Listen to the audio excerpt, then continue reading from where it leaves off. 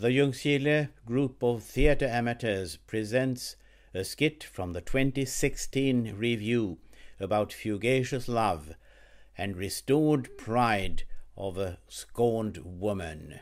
Please enjoy.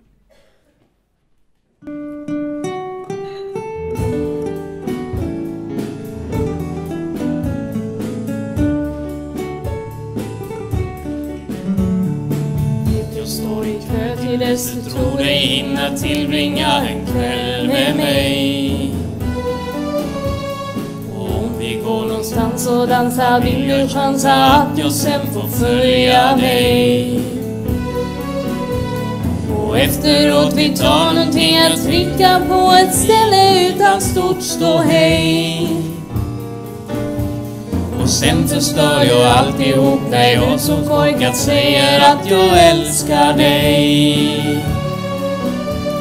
Du ser i mina ögon hur föraktfull jag har hört den lögnen varje kväll. Och fast det är en fras för dig så är det sant för dig du känner mig så säll. Övar dig var dag att formulera dig så att det blir mig till behag. Men helst så vill jag vänta tills det sent på kvällen blivit bara du och jag. Din doft ger mig en kick och under stjärnorna du ser något härligt i din blick. Äntligen förstår jag att vi säger till varandra att jag älskar dig.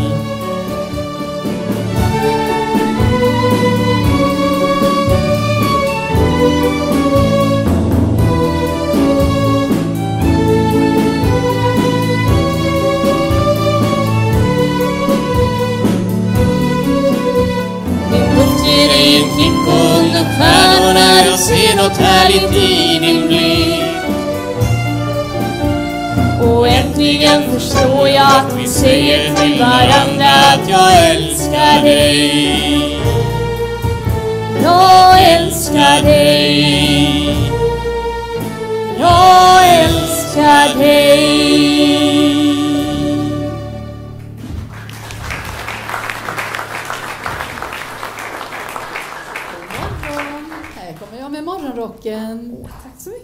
Varsågod. Ja, mina damer. Är hustrur kanske lite väl hårda mot sina män? När de kommer hem helt slutkörda efter jobbet. I en amerikansk hushållsbok från 60-talet går det på fullt allvar att läsa följande råd. Mina damer, lyssna nu noga. Ha middagen färdig. Planera ingredienserna redan kvällen före så att du är säker på att rätten blir lyckad och att allt blir klart i tid tills din man kommer hem. Fräscha upp dig. Vila i 15 minuter så att du ser fräsch ut. Och sen kan du ta på lite makeup och sätta upp håret med ett band. Städa undan i huset. Ta en sista runda genom rummen och plocka undan skolböcker och leksaker och papper. Torka av bordet med en trasa. Tänd en brasa i spisen. Ah, när det är kallt nu under vintern så bör du tända en brasa så att din make kan koppla av framför. Eliminera alla oljud. Vid din mans hemkomst ska tvättmaskinen och dammsugaren vara avstängda. Säg till era barn att vara tysta och lugna. Ha ett vänligt bemötande. Ge din man ett stort leende och visa att du är glad att se honom. Låt honom prata innan du gör det. För det han har att säga är faktiskt viktigare. Låt kvällen bli hans. Klaga inte om han kommer sent hem en kväll, äter middag på restaurang utan dig. Försök istället förstå vilket pressat schema han har. Och skapa en lugn atmosfär. Se till att ditt hem blir en plats för avkoppling så att din man får en chans att återhämta sig både fysiskt och psykiskt. Gör det bekvämt. Låt honom sjunka ner i en skön fåtölj och ja, kanske lägga sig i sovrummet. Hmm. Ha en kall eller varm drink redo. Rätta till hans kudde och erbjud dig också att ta av honom skorna.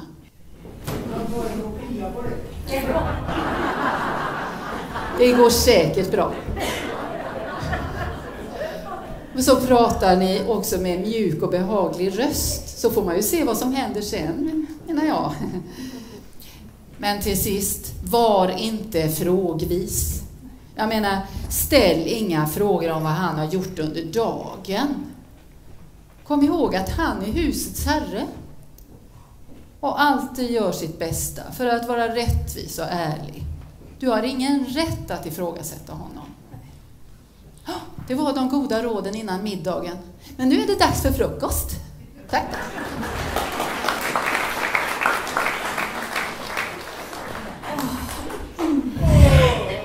God morgon älskling. Ja, god morgon min prins.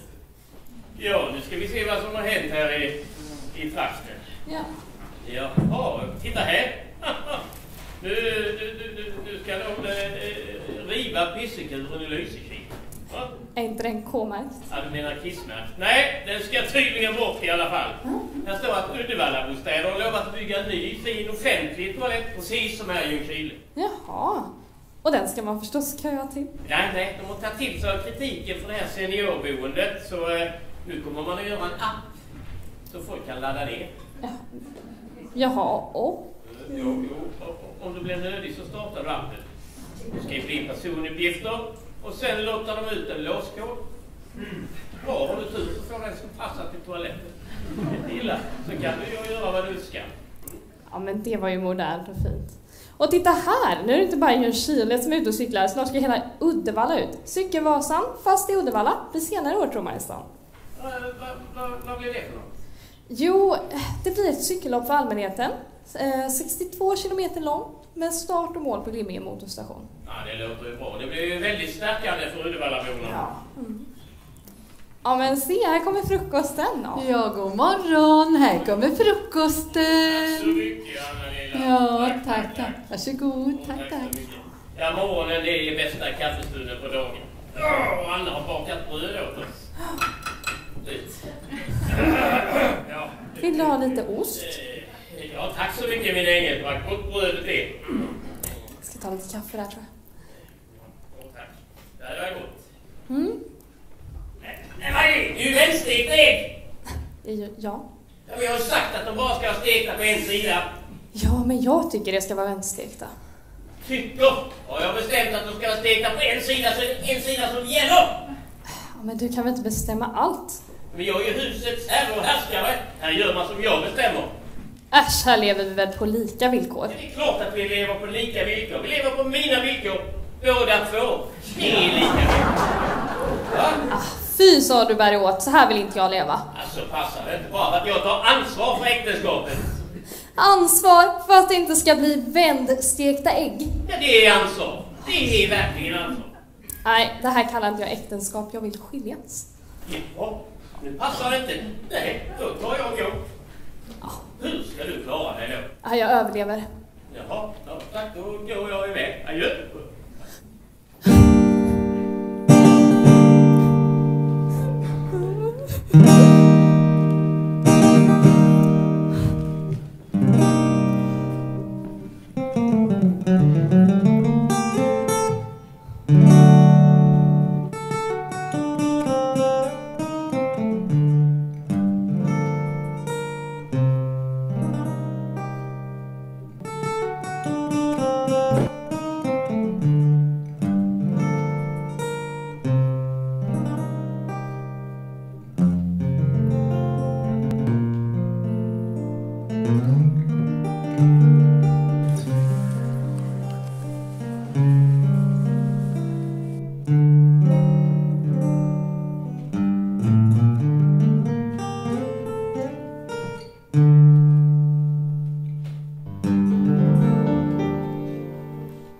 Först blir jag så rädd, jag blir förstenad.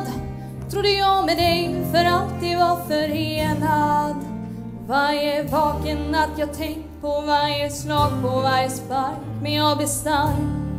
Och tanken har ett lugn mig skänkt, men så kom du från ingenstans. Och du sitter sorgsen här och verkar vara ur. Jag skulle bytt mitt gamla lås och tagit min nyckel ifrån dig. Om jag bara hade vetat att du tänkte störa mig, så är det av. Gå ut här. Vänd genast om och visa dig ej mera här. Det var du som sårade mig med ett adjö, tror jag bröt samman och la mig ner att dö, tänkte jag. Jag överlever så länge jag kan älska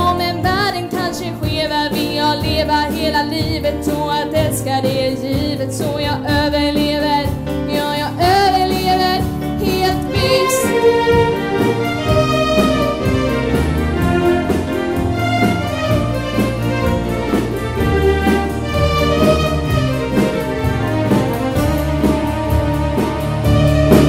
All kraft gick åt att inte visa smärtan När jag tog i så intensivt att lappa ihop hjärta Ja, jag led så många nätter när mig själv ömkan sätter. Men jag håller huvudet högt, nu är jag ny Så se på mig. Inte den lilla människan som en gång var galet kär i dig. Nu du kom och tittade in och trodde att du fann mig fri. Men jag svarar all min kärlek till någon annans frieri Så är det jag Gå ut här. Vänd genast och visa dig ej mera här. Det var du som sårade mig med ett adjö Tror jag bröt samman. Och la mig ner att dö, tänkte jag. Jag överlever så länge jag kan älska. Om en världen kanske skevar vill jag leva hela livet och att älska det är givet så jag överlever. Ja, jag överlever.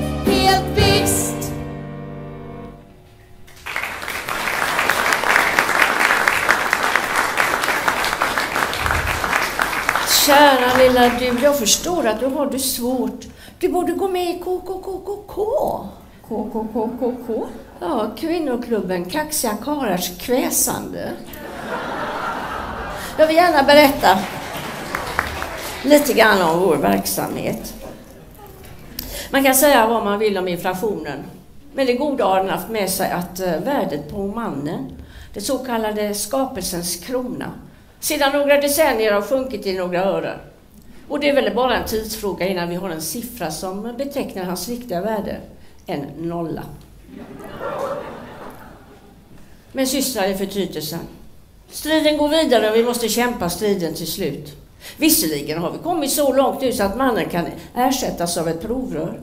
Och det är väl bara som det ska vara. Det är vi kvinnor som föder barnen. Och om mannen under många år inte vill vara med under nedkomsten, ja då behöver han inte vara med under uppkomsten heller. Hur skulle det se ut om vi kvinnor bar oss åt som män? Tack för ordet.